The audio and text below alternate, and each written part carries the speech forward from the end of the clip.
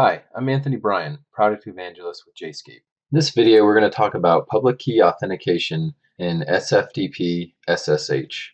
Public key authentication allows a higher degree of security than just requiring a password for your users. We're going to show how to generate a key and associate it with the user account.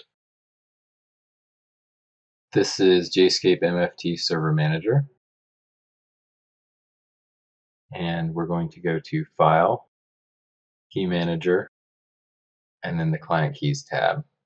Then click Generate to generate a new key. Type an alias like the username. You can choose between RSA and DSA and lengths of 1024 or 2048. So I'm just going to fill out some example information for this user. We're going to unselect certificate file and just put in a private key file of PEM type. And then click OK.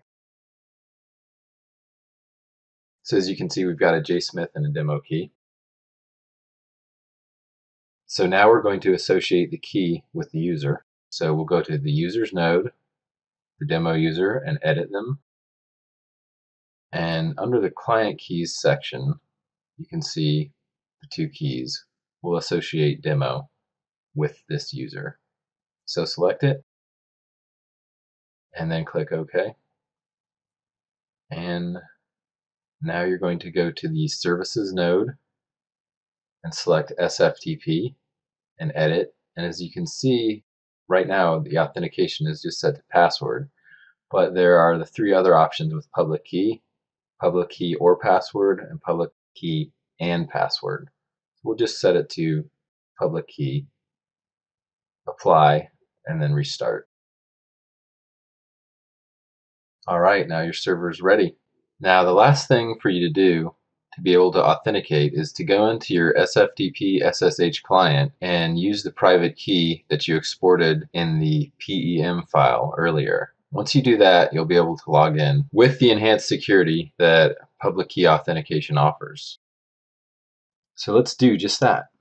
Here we are in Jscape's AnyClient, and we're going to add an SFTP site in the site manager. So I'm filling out the host and username information and selecting SFTP slash SSH. And then I'm going to unselect password authentication and select public key authentication and then select the private key file and save it. So then I'll connect, accept and save, and you're connected. It's as simple as that. In this video, we talked about public key authentication and SFTP SSH. For more information on Jscape MFT server, please visit jscape.com.